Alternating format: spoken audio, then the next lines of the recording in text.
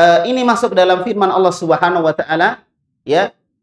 Innamal mu'minuna ikhwah fa aslihu baina akhwaikum.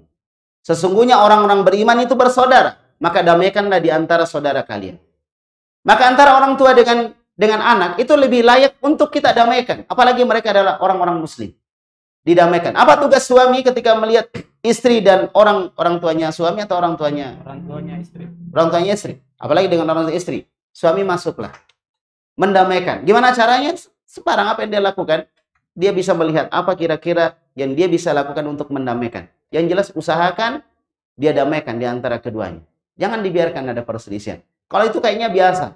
Yang luar biasa itu kalau orang tua kita dengan istri kita yang bentrok. Ah itu masalah. Pernah begitu? Tak pernah tak? Hmm.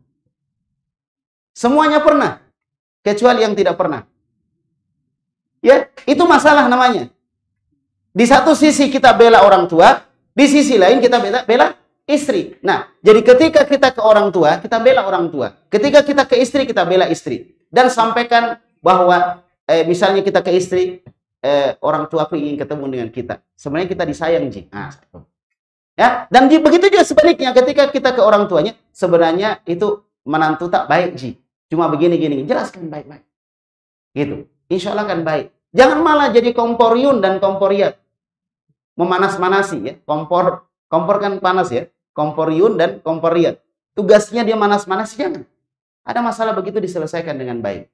Jangan dia menceritakan kejelekan istrinya ke orang tuanya atau sebaliknya kejelekan orang tuanya diceritakan ke istrinya. Ini tambah besar masalah.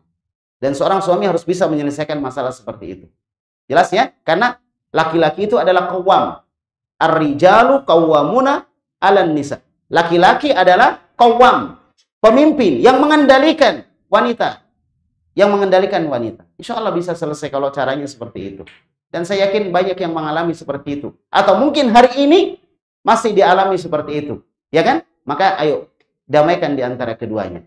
Ya, wallahu alam bisa. Enak kalau kita damaikan. Ya, jadi istri dapat warisan orang tuanya. Nah, kita dapat anaknya, selesai.